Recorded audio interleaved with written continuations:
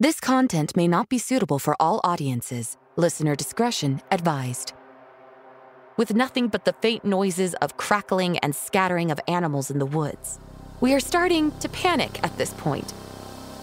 I couldn't understand why my dad didn't want me talking to the nice man who only gave me tractor rides, gave me lollies and hugs and sometimes the occasional sandwich. This was an ungodly sound that I've never heard in my life. From Disturbed Media, join your host, Chad, for true tales of horror, bizarre happenings, and unexplainable events. This is Disturbed.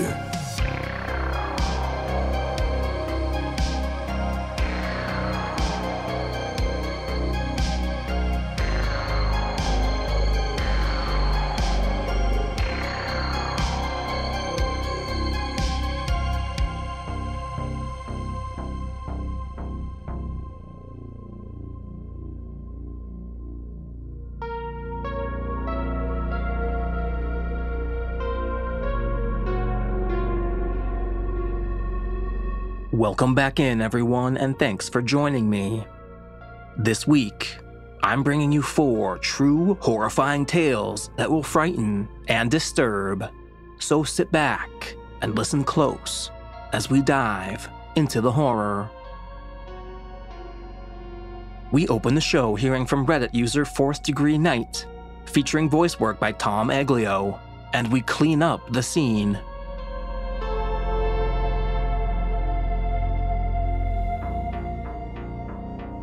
Some of my previous posts regarding my experience doing crime scene cleanup work, or trauma scene work as we called it, generated a lot of people messaging me asking me to write up more stories from my past.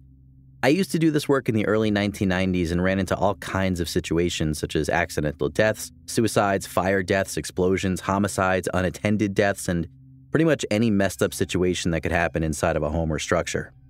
One of my first calls when I started doing this work, it was probably around like 1993 to 1994, was to a really, really rich, fancy home.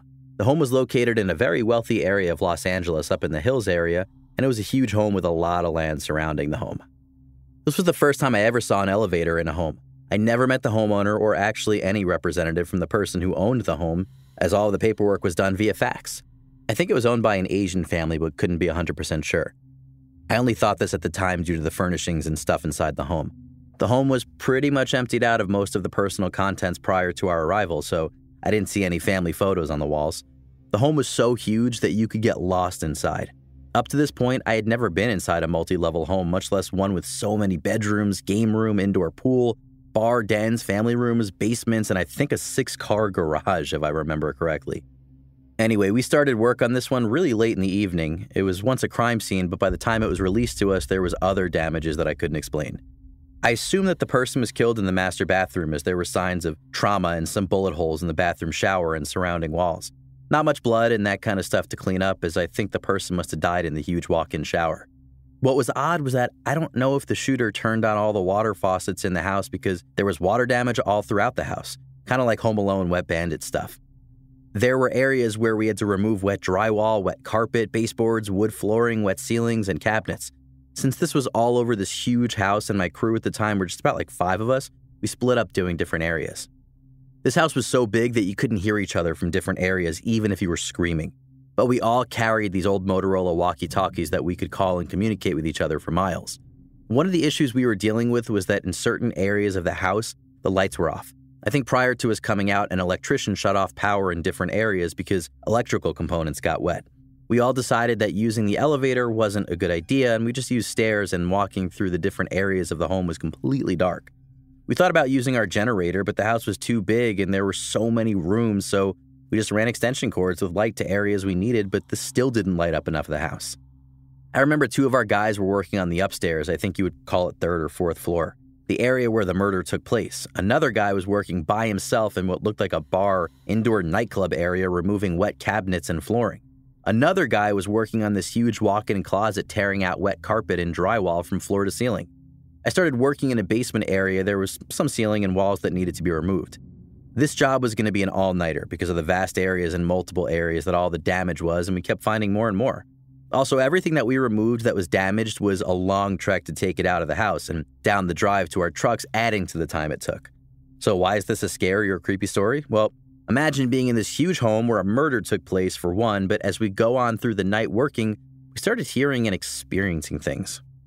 Our old radios would do a beep beep chime when someone was about to say something over the air, since it was only our company that had these radios. It wasn't random interference from outside sources, and we hadn't experienced such things before. But as the night went on and we were working, we kept getting alerts that someone was about to talk. So I and others would drop what we were doing and listen for after the beep beep, like for someone to say something, but no one spoke. Okay, so maybe the guys were fooling around with the radios. I was making my way with a trash can of debris out of the basement as I didn't want to make my trash too heavy to carry out I made several loads, and it was a summer night, so getting out in the cool summer air was also a benefit.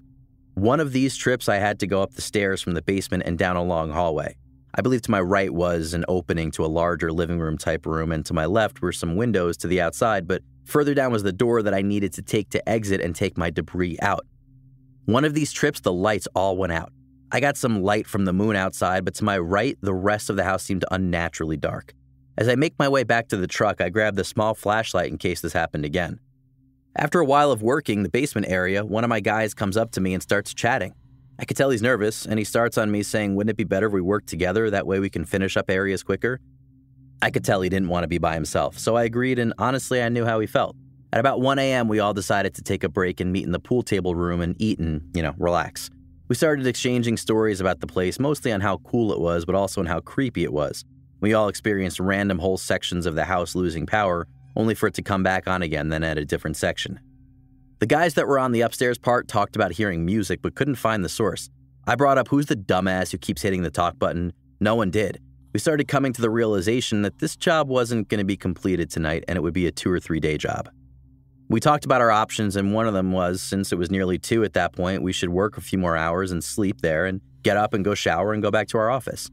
I, for one, wasn't into the idea of sleeping in that house and overruled and said, we'll work a couple more hours, then call it a day. The following day, we already had another job on the books, so we got home and rested a little, then back at it. We got back to the big fantasy house around 3 p.m. and decided to work as long as we could, then finish it up the following day. That evening, we sent one of the guys for pizza, and we kept working, so there was two of us paired up, and when the pizza came, we would break, eat, and rest up a bit, then back to it.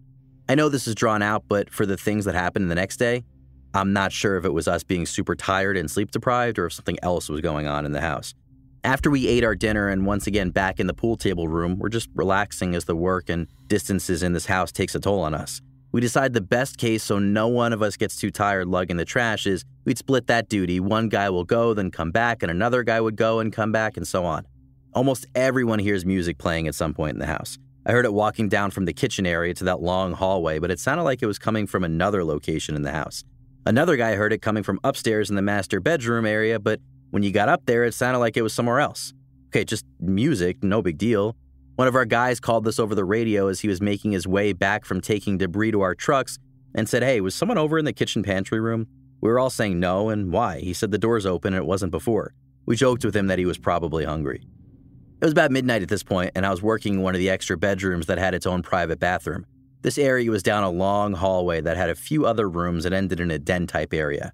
I was with one of my guys and we both jumped as we heard a loud bang. It sounded like something big and flat hit the ground. Kind of like if you knocked over a large piece of furniture, and I got on the radio and checked on my guys, thinking they broke something, and everyone said no, that they hadn't broke anything, and no one else heard it. My coworker and I sure did, so we go down the hallway and look around. Maybe a picture fell from the wall or something, you know, fell over, but there was nothing. One of the last trips from that area, my coworker took the debris to the truck and I was left alone in the room waiting for him to return and the lights go out.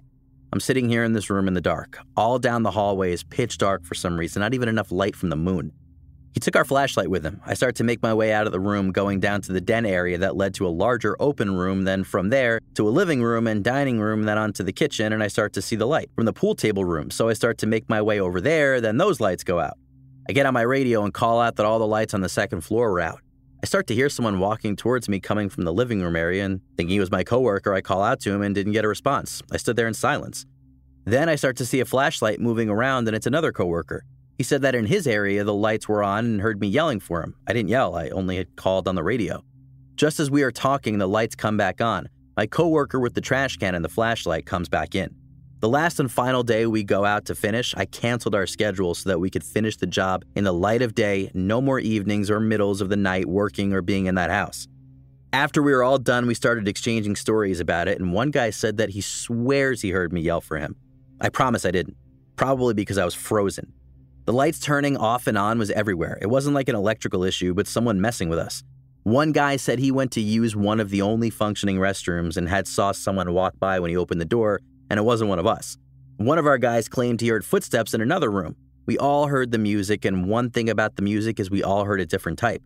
I hear what sounded like classical music, like Chopin or Mozart. Another one said it sounded like country music, but he couldn't make out the lyrics. We were all like, what the was that about?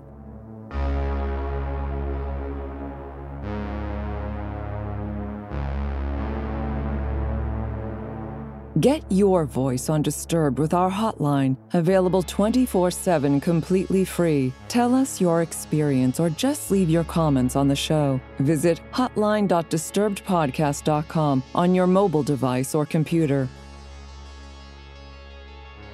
Up next, we have an email submission from Amy, featuring voice work by Sarah Thomas. And we see the lights.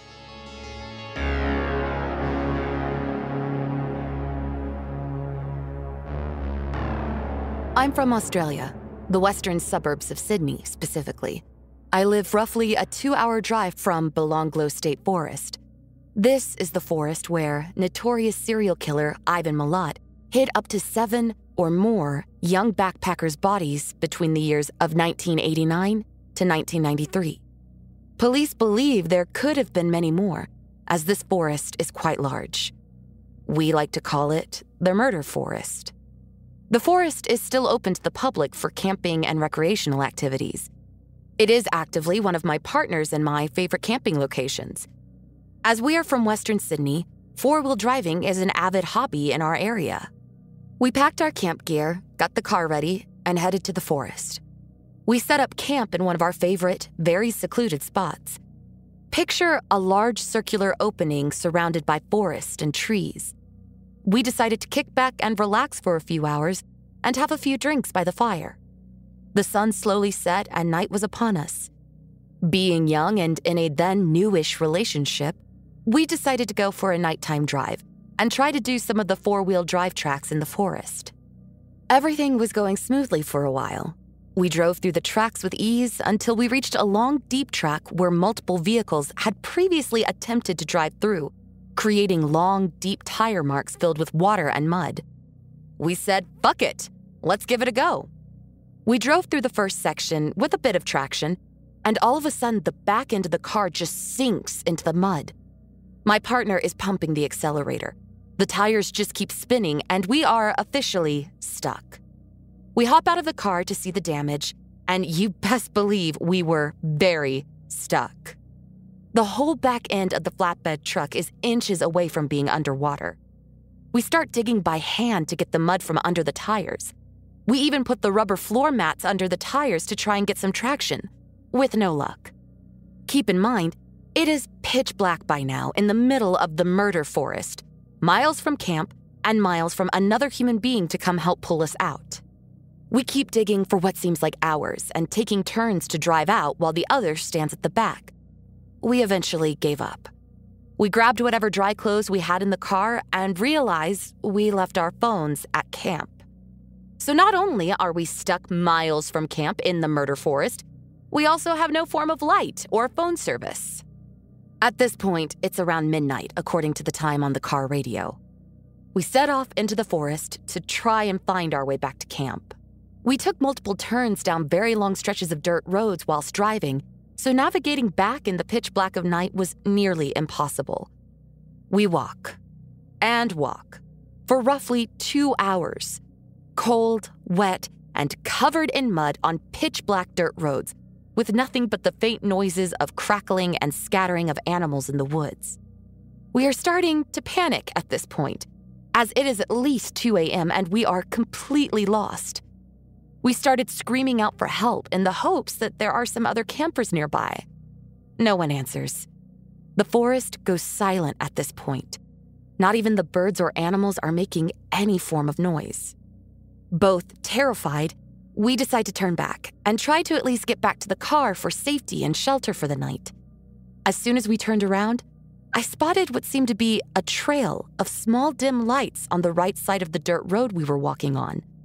I turned to my partner and asked if he was seeing them also. He hesitantly says, yes. Keep in mind, my partner in no way believes in the supernatural of any kind and is genuinely afraid of any witchy voodoo shit, as he calls it.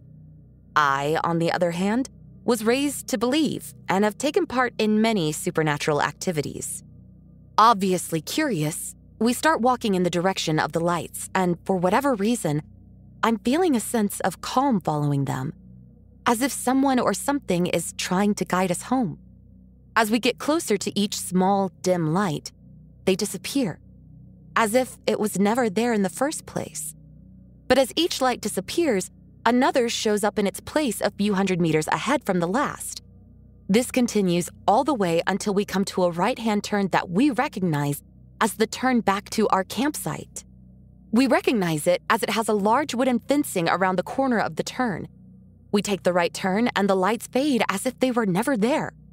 We walk maybe 500 meters up this road and see our campfire in the distance. My partner and I looked at each other in almost disbelief at what had just happened but ignored it, and both started running to the entry of our secluded camping area. We both get changed out of our wet, muddy clothes and sit under the camp awning we built where all our kitchen equipment is. We sit down and start talking about the lights and the experience we both just encountered with disbelief and gratitude to whatever had just occurred. Remember earlier when I stated my partner has no belief or interest in the paranormal or spirits?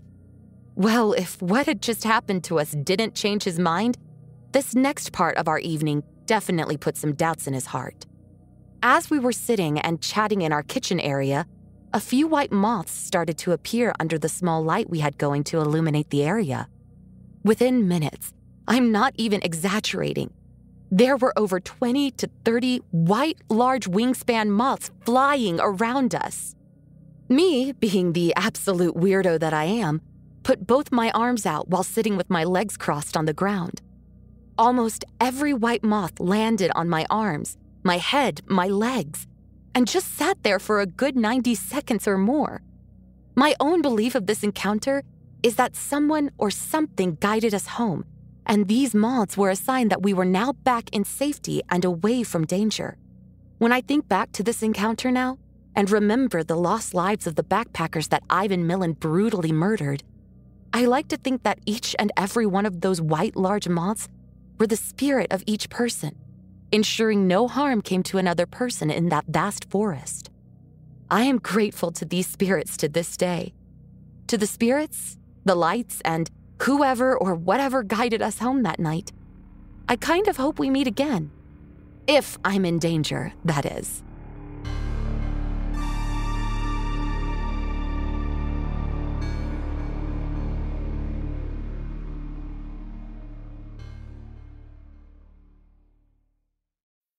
You're listening to Disturbed. Now, back to the horror. Next up, we check in with Reddit user BabyPink93, featuring voice work by Tanya Eby, and we get groomed.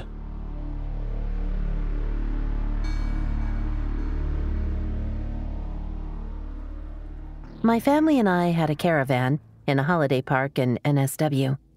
We would go there every school holiday, and there was many kids I used to run around and play with. I have fond memories of this place, where I learned to ride a bike and had my first kiss. But other memories are not as good, and now leave me with that egg flip feeling in my stomach. The people that owned the caravan park had a son. He was roughly 25 years old, and I would have been around five or six. He would drive around the park and collect everyone's rubbish on a tractor and do other odd jobs like this to help out his parents. Every once in a while, he would pull up when I was playing out the front and ask if I wanted a ride on the tractor. I, being young and naive, of course accepted and jumped on, because what child doesn't want to ride on a tractor? This was back in the days where parents would let their children play in the streets without much supervision, and you just came back home when the streetlights came on. One day, when he dropped me back to our van, my dad came storming out, grabbed me by the arm, and yanked me off the tractor.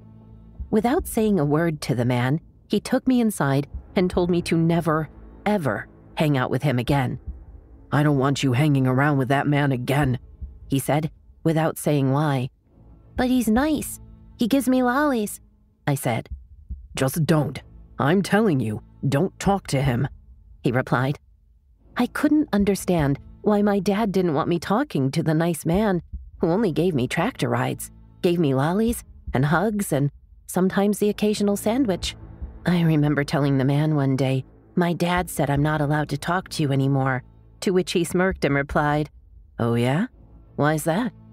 Fast forward nearly 13 or 14 years later, my family and I are watching the news when the man's face flashes across the screen attached to a story where he had killed two people and is now serving time in prison. My dad said, Look at this, look at this. I knew he was bad news. There was always just something about him. Do you remember when he used to take you around on the tractor? My blood ran cold and my stomach dropped. The most disturbing part? He killed people with pills he would call his lollies. Please always listen to your parents. My God, I would be dead by now if it wasn't for them.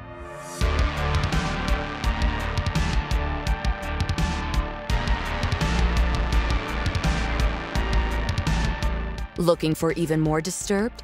Join us on Patreon for ad-free listening, shoutouts, and Disturbing Calls bonus episodes at patreon.com slash disturbed podcast. Apple users can subscribe to Disturbed Media Premium directly in the Apple Podcasts app. And finally, we close out the show hearing from Reddit user Caden J. Peters, featuring voice work by John Patneude. And we've never been more creeped out. Locational context. I live on a farm on the side of a mountain in the middle of nowhere in British Columbia's interior.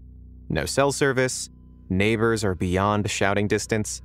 A very on your own lifestyle out here. My trailer is at the top of this property next to a barn surrounded 360 with forest except for the little road up here.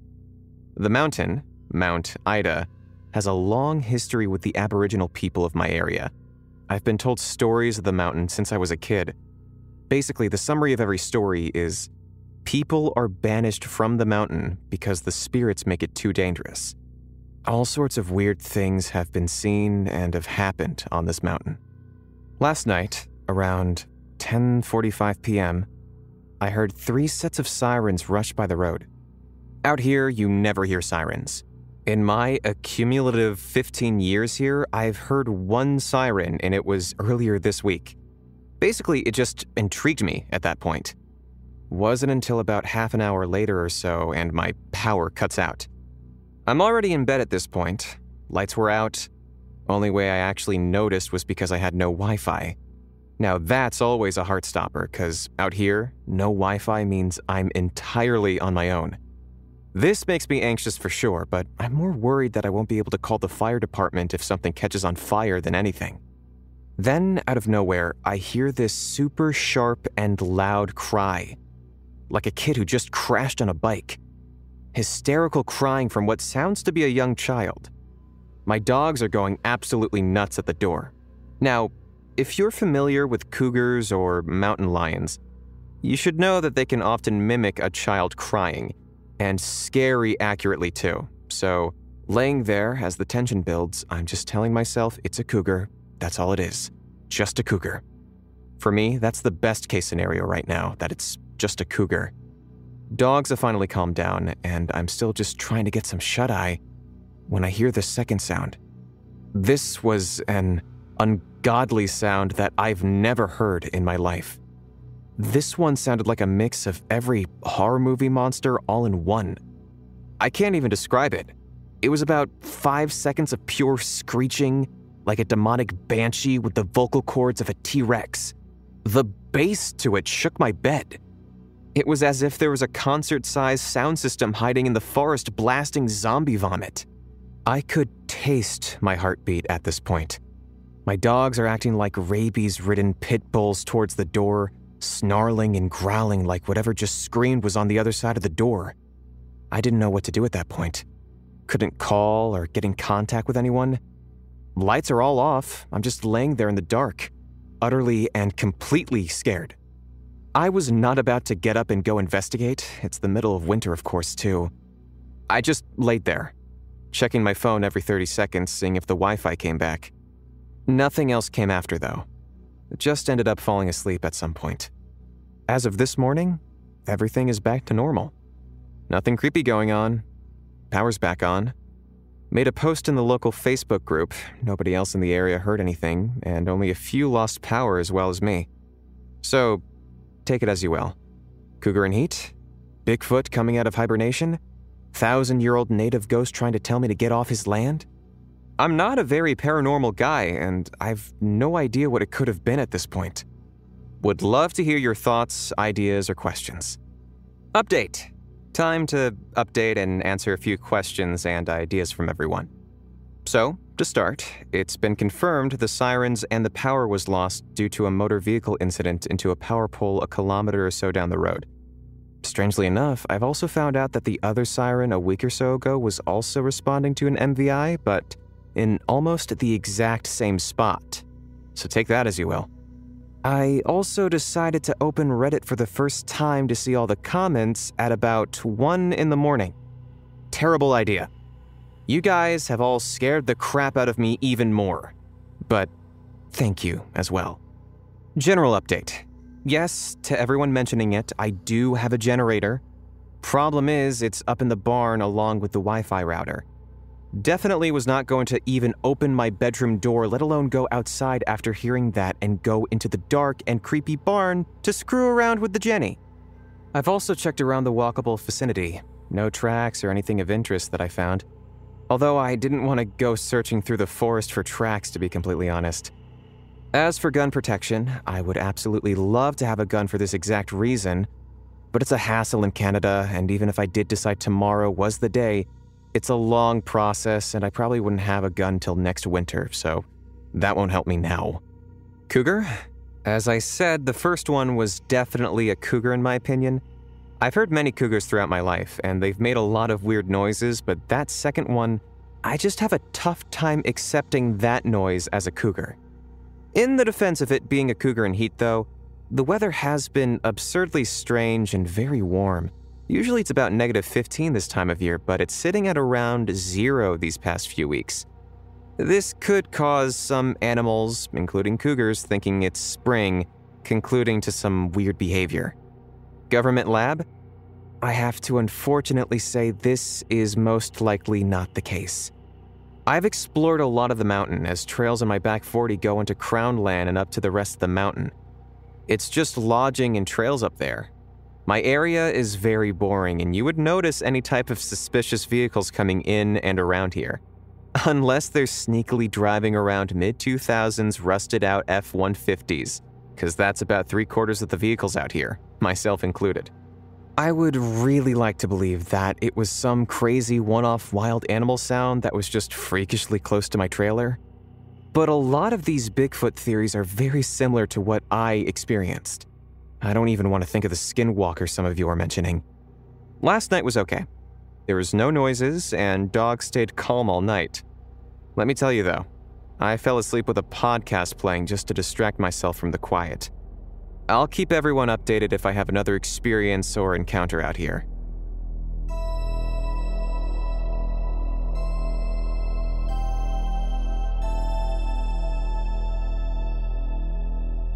Follow our social channels on Facebook and Instagram at Disturbed Podcast and on Twitter at Disturbed underscore pod. Don't forget you can send in your own true terrifying tale at disturbedpodcast.com slash submit. If you'd like to support the show and gain access to bonus episodes, ad-free content, and early releases, visit patreon.com slash disturbedpodcast. And a big thanks to our newest supporters, and we got a lot of new ones from our recent Disturbing Calls episode.